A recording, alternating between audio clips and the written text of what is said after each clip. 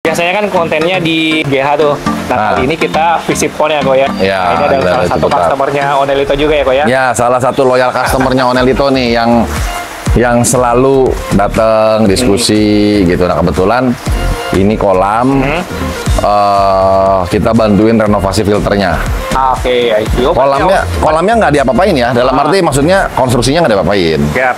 Tapi cuman kita bantu waktu kemarin ada problem-problem, akhirnya ya udah filternya kita bongkar semua, terus kita renovasi dan kita upgrade. Siap. Oke, mungkin Oke. langsung aja kali ya, Ko. Kita lihat langsung kita bongkar dulu kolamnya. Siap. Nah, Nah, ini sekarang kita akan coba bongkar-bongkar seperti apa rahasia di balik sistem filtrasi yang ada di kolam Orman di sini ya. Iya.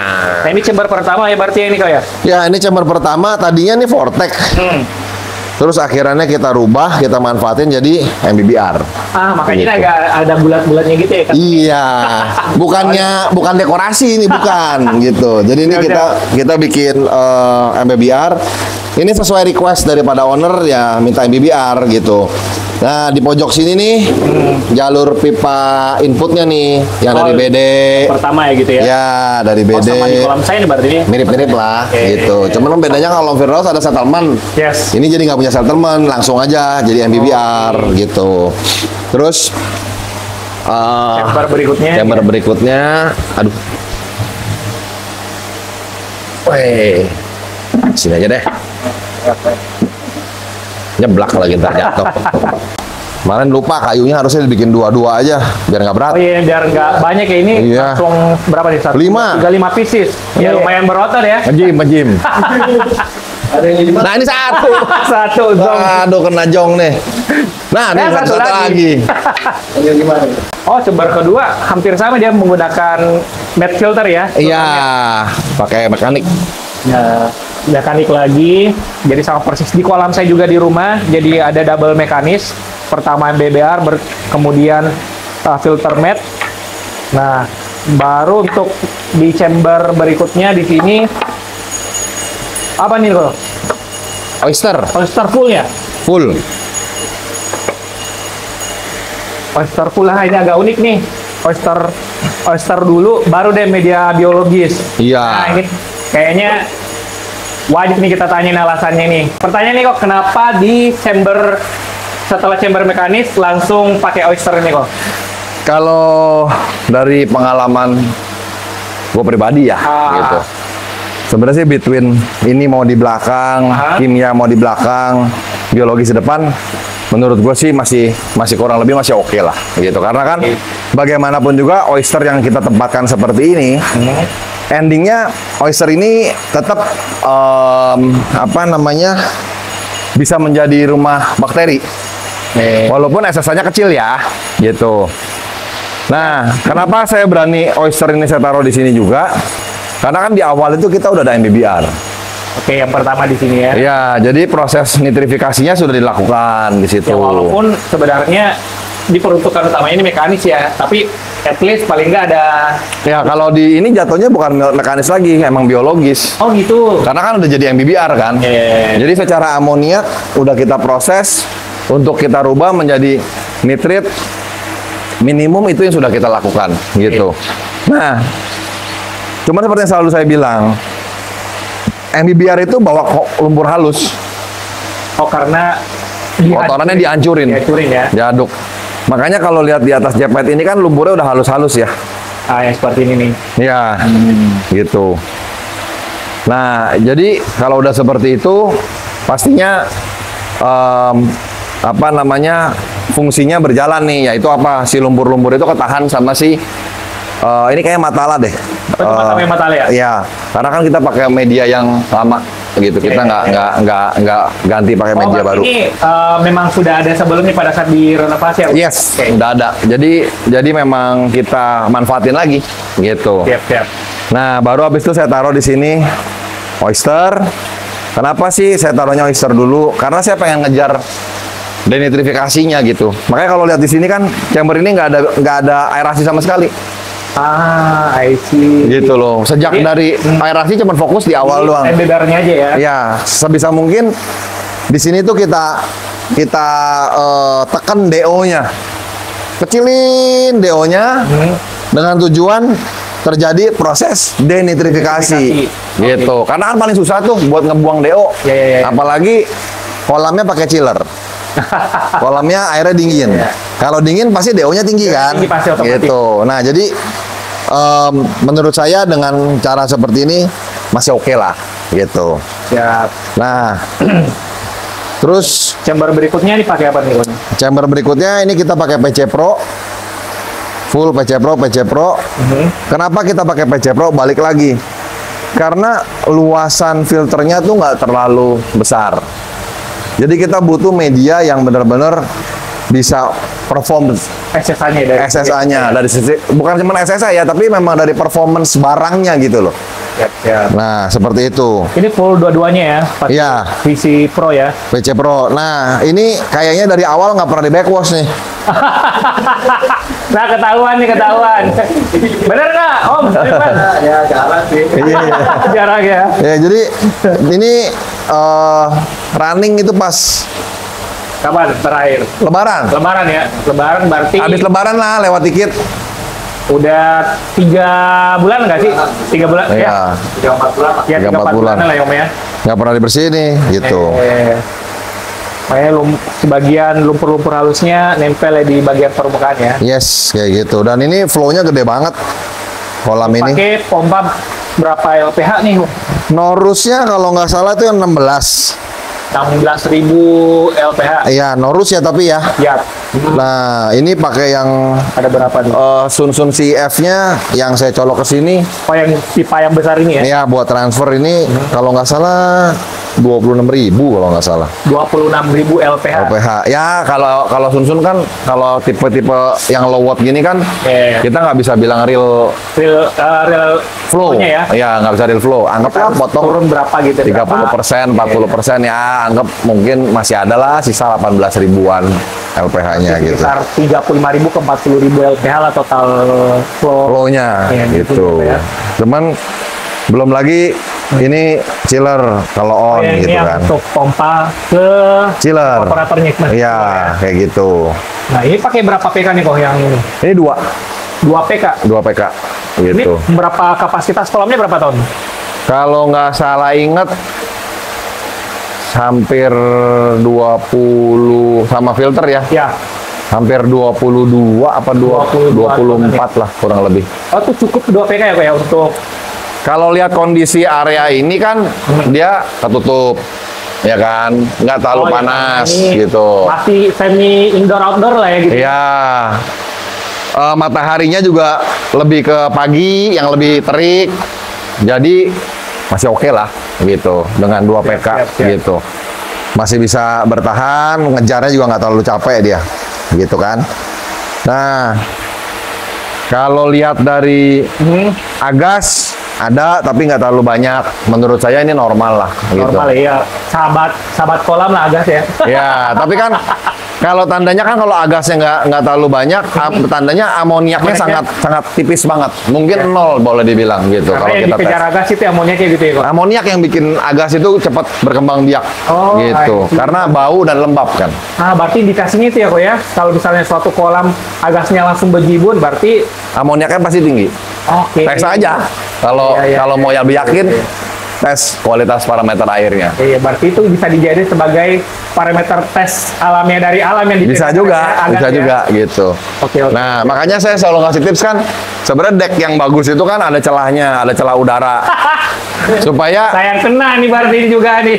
udaranya biar keluar, amoniak Iya. bau amoniaknya tuh keluar. Jangan bener-bener rapet ya ya kayak misalnya kayak gini. Ya. Contoh misalnya kayak gini. Kayak tadi kan terlalu rapat tuh sebenarnya. Hah? Gitu. Sebenarnya kalau lebih bagus setiap chamber ada satu celah aja, satu senti. Biar udaranya keluar, ada sirkulasi udara masuk dan keluar. Jadi dengan begitu agas nggak gampang berkembang biak. Gitu. Oke, oh ternyata itu salah satu tips ya biar Iya. ini di, kalau misalnya kita buka kayak gitu celahnya dikit itu ada sedikit pengaruhnya sih kok misalnya amoniak bisa cepat eh, apa terreduce apa segala macam atau enggak Enggak, enggak ada enggak. Itu lebih kepada sirkulasi udara aja. Kalau saudara aja ya Biar amoniak, bau amoniaknya nggak ke kekep. ah Kalau kamar mandi mah ada exhaustnya lah, Ah, iya, gitu iya, iya, loh. iya, iya. Biar kalau habis buang air kecil air besar udaranya bisa keluar gitu ya kan Nah, selanjutnya, nah di sini lagi-lagi ada baki shower. Ada berapa layer nih? Satu, dua dua, tiga. ini jatuhnya berarti ada paling atas ya Di satu ada paling atas ini Oh, ada paling atas juga di sini. ya ada media sedikit tapi Oh, nggak ada banyak media dikit ya juga. satu Wah. dua tiga empat terakhir Ya, jadi ya. hitungannya empat layer cuman kalau ini kan eh, dia jaraknya lumayan jauh ya Oke, lumayan tinggi. makanya pantulan airnya jadi menyebabkan noise-nya. Ya, ya, ya. beda kan kalau di rumah Nah, om kalau, kan? kalau ya kalau saya selain nggak terlalu tinggi dibuat untuk lubangnya memang se seminim mungkin ya jadi airnya nggak terlalu banyak yang nyiprat Iya, istilahnya gitu benar. keluar gitu.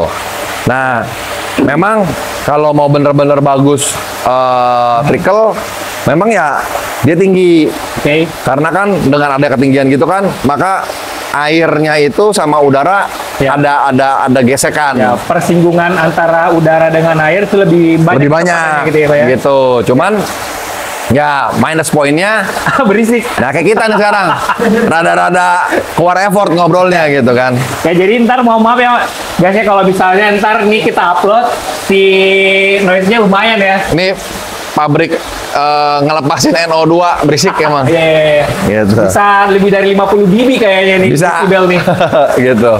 Nah, cuman media-medianya ini kita nggak lakukan upgrade. Hmm. Kita hanya perapihan aja. Iya. Jadi media lama yang dari kolam yang kita pikir sayang lah kalau dibuang. Iya. Udah kita taruh aja di sini. Toh fungsinya kan lebih kepada mencari benturan air sama pergesekan udaranya itu kan gitu. Jadi dengan begitu harapannya adalah eh, pelepasan nitrogennya itu masih bisa terjadi kayak gitu. Nah, kalau kalau memang mau benar-benar bagus, ya salah satunya kan pakai Miracle Biopor. Tapi ya kalau misalkan adanya ini ya nggak apa-apa pakai aja guys. Gitu. Siap, siap. Ya ini kurang lebih seperti itu. Iya. Nah di sini untuk uh, penghuni ikannya ada berapa ekor ini om? 7 ya? Gila, 20 tahun 7 ekor doang. Ya wajar lah bodinya gila-gila semua nih guys nih. Bisa lihat sendiri. Sakai. Ini Kohaku Sakai. Ini Hyut. Hiu Aceh- Sinoda. Sinoda ya? Sinoda Ram ya? Sinoda, Sinoda. Sinodanya. Udah tau berapa senti om? Belum. Belum tahu ya? Ini kalau gue lihat nyampe 50 ini. Udah 50-an ya? Awal berapa senti sih pas datangnya? 37. 37 cm ya? 37 cm. Sekarang udah 50-an, baru berapa bulan nih berarti? Kayaknya itu dari tahun lain kan 3 4 bulan. 3-4 bulanan ya? Kalau boleh dibilang penghuni kolam pertama. Oh ini kok itu ya? Oh serius? Oh, iya. oh. Pertama dia. Iya iya iya iya iya iya iya. Nggak ada tester-testeran. Gak ada tester tester. Habis Ikan tester. Langsung gas ya? Yoi, ikan tester. Aduh, buang-buang duit. Iya lagi. nah terus ini ada. Wih, ogon nih, bo, gila nih bodinya. Ini og- ginrin ogon dari Momotaro. Ah, mau taruh, ya aja taruh juga sih ya. Iya. Kayak di sini bulat-bulat. Coba lihat tangannya guys, nih. Sampai. Ini sampai muntah-muntah nih ikan ini guys. Tuh. Sampai oga makan. Nggak makan nih. Nah, prinsip di sini anti-anti raskin di sini guys. Anti raskin. Gila. Gila makanya ditanggul ini. Ini berapa kali sehari pangannya, Om? Lima kali. Lima kali ya? Sekali keluar kurang lebih hampir 100 gram. Berarti 500 gram. 500 gram. Ikannya 7 ekor. Ikannya 7 ekor. Mateng nggak lu? Muntah-muntah nih. Om. Iya, sampai gumoh ya udah ini ikannya. Ini kalau bisa demo nih, Ah. Stop makannya, Iya, kami kenyang katanya. Gagal diet sama ikannya jatuhnya ya. Gagal diet. Waduh. Gila. Makanya Hmm. kolamnya secara bakteri belum mature banget, Hmm. belum 100% kebentuk. Iya. Nah, cuman udah digas terus aja ini dari awal. Nggak ada ampun. Ada lagi yang disampaikan nggak kok? Dari sisi kolam sih ya gini-gini aja lah. Kolamnya sederhana, tapi powerful. Oke, siap. Gitu. Nah, sekarang saya mau tanya testimoni dari Om Ivan yang Ayo kita ambil duduk aja kali ya. Oh, boleh, boleh, boleh. Capek. boleh, silakan. Lanjut lagi ya, Ko ya. Lanjut. Pembahasan yang tadi. Nah, gimana nih, eh, Om Ivan? Ya. Testimoninya setelah direnovasi. Ada perubahan kah untuk baik mungkin dari sisi kualitas airnya Nah. setelah direnovasi atau seperti apa? Ah, kalau setelah direnovasi sih ya kolam yang sebelumnya eh, lebih inilah lebih kurang jernih terus Oh, emang sebelumnya gimana tuh? Ada kesalahan apa? Gimana pas awal awal? Oh, flow-nya nggak terlalu tinggi kan? Terus juga beberapa masih banyak yang kurang lah. Ibaratnya gitu flow airnya nggak bisa banyak. Oh, kayak jadi sering misalnya tekor si chamber. ya lumayan sering tekor betul. Awal emang awalnya pakai udah langsung double wall atau awalnya pakai sistem pemipaan apa ya pipa leher angka itu apa gimana tuh? awalnya double wall Oh, double- tapi wall. memang eh, kurang ininya lah apa namanya eh, masukan buat ke chambernya Ukurannya kayak tuh ya nggak nggak balance gitu karena sebelumnya udah tambah tulang. Oke. Jadi eh, double wallnya tuh banyak banyak hambatannya dari Hmm. sisi double wall. Ukuran tinggi rendahnya juga dari sisi double wallnya juga nggak nggak stabil. Gitu. Oke. Terus ya tadi Om Irfan bilang, Om Irfan tuh pengen flow-nya kenceng, Hmm. dinaikin. Oke. Tapi selalu tekor. Gitu kan. Kalau habis backwash oke lah, gitu kan. Tapi setelah backwash tekor lagi. Selalu seperti itu gitu. Plus mau upgrade media nggak bisa. Oke. betul betul Mau upgrade media pasti problem gitu.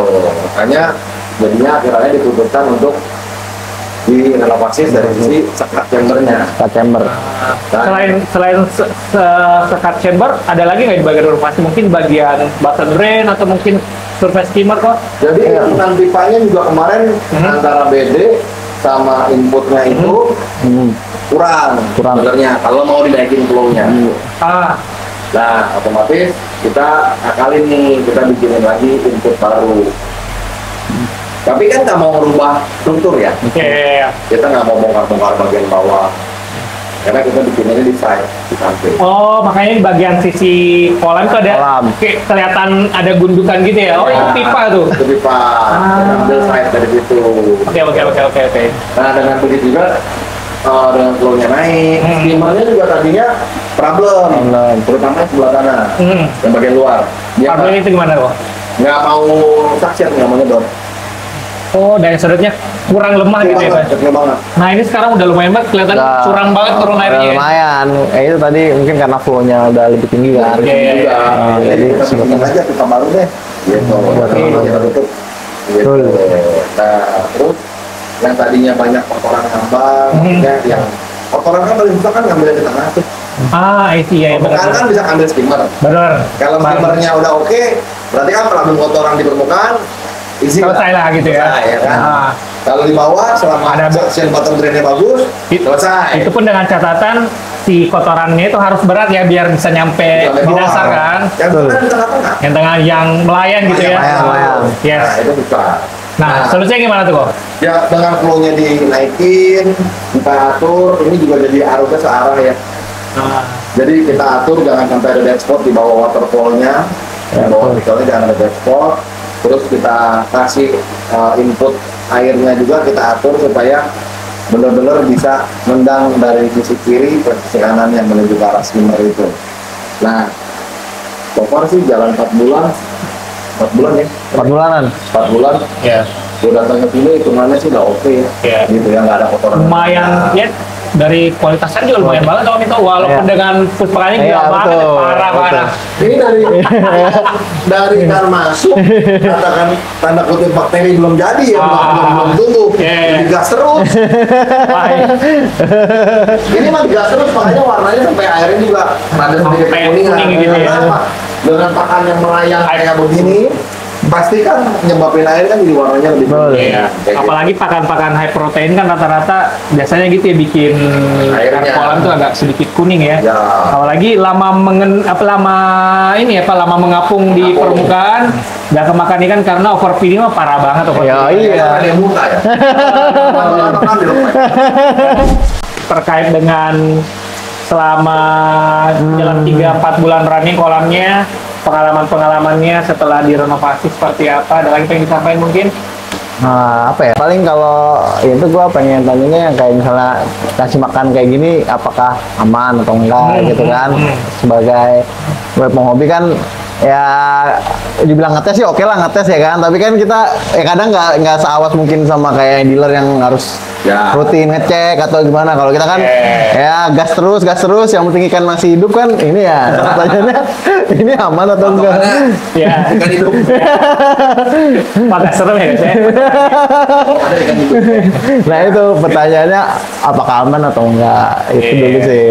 Kalau lihat kondisi begini sih, apa sih menurut gua masih oke. Iya. oke Masih- Ya ikan pertumbuhannya juga agak sedikit amazing sih menurut gua pribadi ya. Karena kan ikannya dari orang itu. Eh. Waktu kirim kayak gimana gua masih ingat. Ya oke. Begitu datang, hmm, bengkak semua ikannya. nah, nah, jadi sebenarnya secara growth bagus. Tapi yang harus diperhatikan adalah kualitas skin. ya ya Gitu. itu Jadi Penyakit beberapa penghobi. Oke, lanjut Ya, lanjut. Kita kita pasti pengen ikan cepat gede. Yes, pasti tuh. Tapi kita juga harus imbangin. Kita harus belajar melihat kualitas skin. Ketika kalau misalkan oke gedenya sudah cukup saat ini, body volume udah kebentuk. Terus tapi skinnya udah mulai mungkin stretch kah, atau udah yellowish, dia punya siroginya. Eh, Nah itu tanda di mana kita harus sedikit rem dulu nih. Nah, Kita rem, pakannya kita ganti dengan pakan yang low protein. Hmm. Kalau emang bisa colornya kita stop dulu, kita stop dulu colornya. Hmm. Nah, jadi dia biar recovery dulu nih internal organnya. eh, Ketika dia ada recovery, skinnya udah mulai membaik, gas lagi growth-nya. Eh. Gitu. Jadi kita main layangan. Oh, tarik ulur ya? Ulur, ada kalanya Eh. tarik. Nah, salah satu karakteristiknya adalah kita juga harus tahu. Sekarang pakai pakan apa? Brand apa? Dengan komposisi pakan yang seperti apa? Kita harus tahu karakteristiknya bagaimana. Oh, pakan yang eh, brand A jenis growth karakternya begini. Kalau brand B karakternya begini. Brand C karakter karena setiap brand pasti punya karakternya masing-masing. siap, siap, siap, siap. Jadi semuanya boleh klaim growth, tapi resultnya pasti berbeda. Ah, Oh, pasti, oke. Pasti berbeda. pasti, pasti. Karena nutrisinya berbeda, Ya. ya kan? Semua penghobi pasti ngomongnya protein. Hmm. Pertanyaan gua, apakah protein tinggi itu pasti bagus buat ikan? Eh. Wah, ini kayaknya kalau untuk bahas ini kita nanti buat Iya. segmen ter- Iya, tersendiri ya guys ya ini Iya, kayaknya betul. ini biar lebih menarik ya. Ada lagi mungkin yang mau disampaikan untuk terkait dengan segmen ini Om Ivan? ah udah cukup lah Udah cukup lah ya. Bingung mau ngapain ya. Kalau lanjut aja silakan Faisal di close mungkin yang sampai sesuatu nih. Kalau seperti biasa, kalau dari online itu jangan lupa nih, kita berdua disupport juga. Hmm. Ya, like, comment, share video-video kita. Subscribe guys, subscribe gitu ya. Yeah. Biar kita tuh kerja kelihatan ada hasilnya. Kayak gitu kan ya. Dan selalu saya ingetin, Koi itu harus Happy. happy Karena dari Koi, make happy. Happy. Bye-bye. Bye guys. Semoga sehat selalu dan kaya raya.